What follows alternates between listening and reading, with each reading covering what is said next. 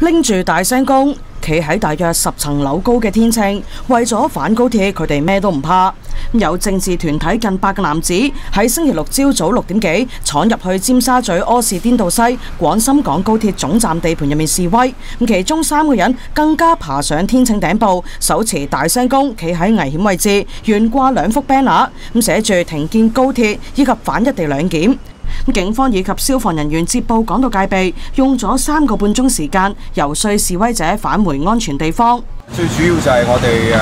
去表达一个和平去表达一个嘅意见啦，就系好似我哋嗰个嘅横额咁样咧，就系停建高铁，反对一地两检。咁我哋认为咧，诶上次喺呢一个立法会佢所诶通过呢一个嘅诶追加嘅高铁拨款咧，系诶违宪违法嘅。而港铁发言人就话工程进度不受事件影响，但系任何人先至进入地盘范围都系违法。O N T V 东网电视新闻台報導。